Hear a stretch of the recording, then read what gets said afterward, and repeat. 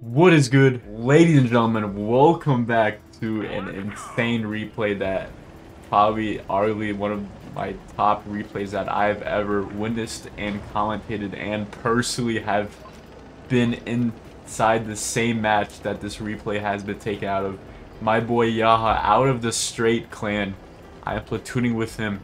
7.4 thousand damage dealt in this game, man. And you guys will see how I got carried insane this game. But, you know, hey, we got to sacrifice the win rate. We got to sacrifice the average damage, though. We got to sacrifice my dignity so we can get that top tier Snexy content for you guys.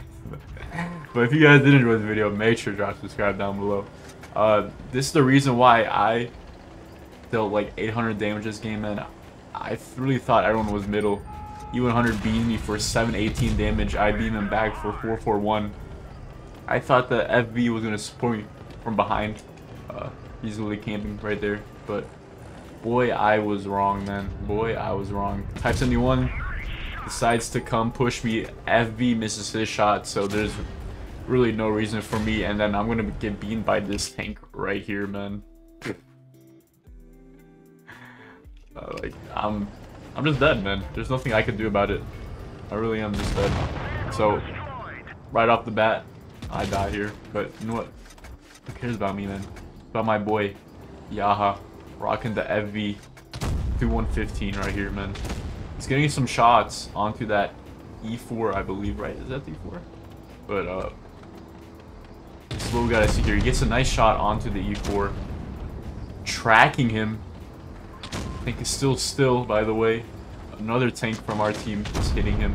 But unfortunately, I can't really get a good angle here, man. I I don't know why I get that bad camera angle.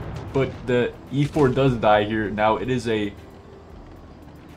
situation where they have eliminated two tanks. We have only eliminated one. But the IS-7 decides to push for some reason. We are back with the beautiful angle here. Minus 413 damage onto the IS-7. Can the Jagd Pz E100 get at least a shot onto the ISM before he dies because there's an E100, Type 71, and the FV that eliminated me last time. But no, he cannot get a shot onto the tank. But obviously, you got to finish off that IS-7 right here, man. IS-7 does deal damage to Yaha, but he does eliminate him. Type 71 does do damage as well. Kind of lucky, but he gets at least one shot off onto the Type 7, I believe, before he runs away, retreats back into a better position here. Type 71 beams the E5 maybe, not the E3.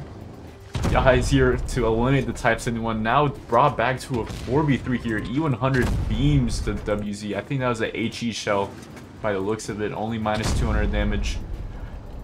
Yaha does shoot the E100 and you'll see later on in this uh, when he faces the E100 on a 1v1 situation that that dude's turret is just like look at this guy's turret, man. This is so so much bullet holes if you could angle it and stay look at that. I thought it was pretty funny, man. 4v3 situation here. You can also get a nice gold round onto the E100's turret. And yes, he does. Minus 356. He does limit the WZ, though. It's a 3v3 situation here. Is this 3v3 situation winnable? You know what? Who knows? But he obviously has the higher DPM than the E100 now. It's just only a question if the E100 can take a shot onto Yaha before he dies, and he cannot, man. Yaha is on 1.8k HP. Then the FV is running away here to Yaha. Minus 347. He has two more shots, I believe, the FV.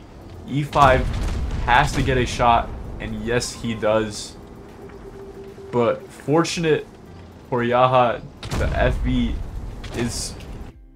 I don't know if you guys just saw that, man. The E5 just bounced off the FV. But, hey, that's perfect for Yaha if he does eliminate the FV, in which he will. That's four kills. And if he does kill this last tank that the E3 is fighting, which the, is the Chieftain, Yaha can get five kills, which guarantees him a mastery. Even though this man has done 7.2k damage right now, 7.4k damage now.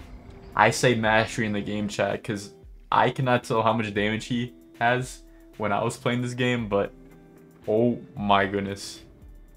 7.3, 7.4k damage, man. Beautiful stuff, man. He got the mastery. He got the ace tanker. He's got the Radley Walters medal. He's got the high caliber. He's got the top gun. And he's got the steel wall for some reason. Very questionable steel wall here, man. Let's look at how much damage has been bounced.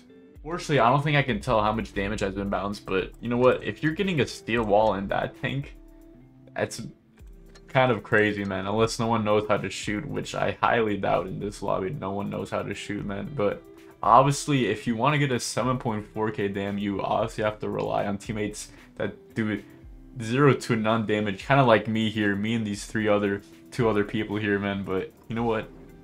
That was a crazy game, man. Guys did enjoy the video, make sure to drop subscribe down below. Join the Discord, man. We're trying to grow a community there. Trying to play all the games that I do play, stream on, live on Twitch, mostly every day. But I'll see you when I see you in my next video. Peace out.